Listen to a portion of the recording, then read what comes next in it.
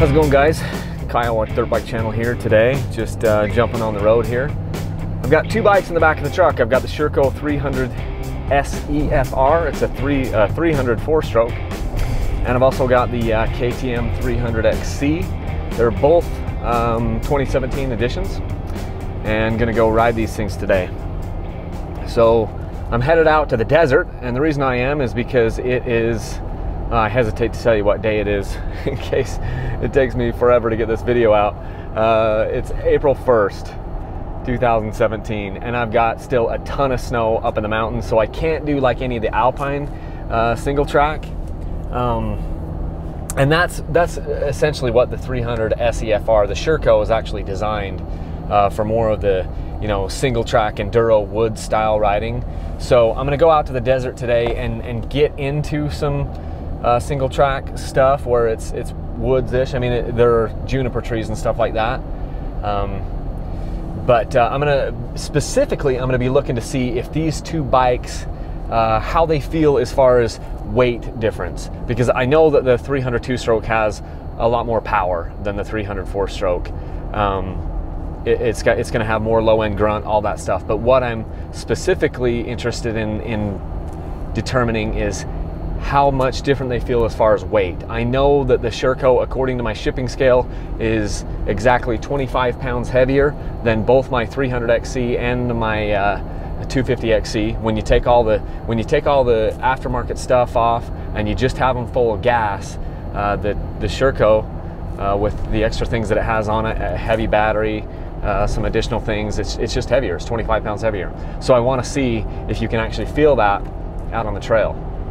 Um, initially, in the in the uh, rides that I've done with the Sherco, it feels actually very light. It doesn't feel like a heavy bike, and so that's been uh, really surprising, and I'm really uh, happy with that. You know, and the Sherco so far, I've been you know impressed with it. The, my only complaint is just that. Uh, well, I mean, the complaint that I have off the top of my head is it feels a little bit twitchy at speed, and that might be because it's got a little bit shorter wheelbase. Um, feels like it, it could dance out from under you when you're going blasting down a, a, a, you know a rough dirt road or something with ruts and stuff like that. But if you're just in in the single track with the roots and the rocks and stuff, it's actually been really good.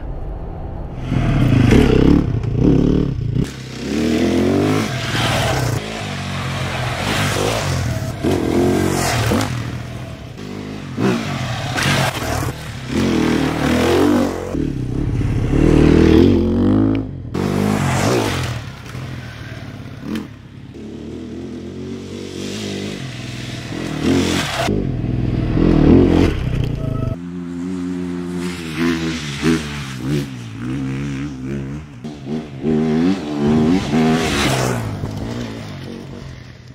tell you what I learned today.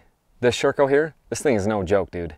Seriously, this thing was awesome in the woods. When it got tight and it got twisty and turny, this thing was easier to turn than the 2017 KTM 300XC. It just was. With its little bit shorter wheelbase, you just are able to carve around things and the steering on this bike just feels super light. Now, I have adjusted both of them so neither one of these have steering dampeners on them and I've adjusted my the the tension on my on my triple on my uh, head bearing here, you know, to get my to get my handlebars basically so that they're not too floppy, but they're not, you know, not too stiff and I adjusted them the same and the Sherco feels lighter. The geometry of that bike and the way that everything is put together, that, that steering feels lighter. Having the lighter steering is a good thing when you're when you need to turn quick and you're in the woods like that. It can also be a bad thing when the speeds pick up a little bit. As soon as the speeds picked up, I was much more comfortable on the KTM. But in the in the tight woods and in the tight turny sections, I think I had a little bit of an advantage here on the Sherco. Now part of that also is because of the way that the power is delivered. There definitely isn't as much power on this 304 stroke as there is on this 302 stroke. The 302 stroke was like tear your arms off compared to the 304 stroke. But the four stroke gives a very linear, predictable power. Now, for me, it isn't as exciting. This one made me smile more once I got out into the stuff, out into a little bit more open stuff. But this bike, this thing is no joke. This Sherco is the real deal.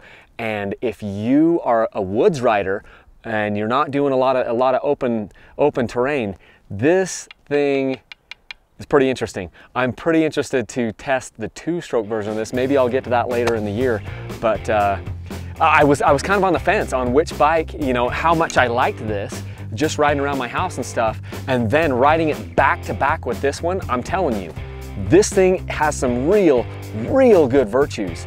I mean, it, for, for me, if I'm gonna say which one do I choose, you know, if it's gonna be my primary bike, I'm gonna choose the two-stroke. This one, this one is just speaks to my soul more. But if I'm just a woods rider and I want a four-stroke and I don't want a KTM, that thing is, uh, like I said, it's no joke. Hey guys, if you didn't already know, Patreon is the best way to support Dirt Bike Channel. We've got some really cool rewards over there, so click on the link up here that you see to become a patron. That'll take you directly to our site and you can check everything out. Uh, you can donate as little as $1 per month and it would really, really help us out. Thanks a ton, guys.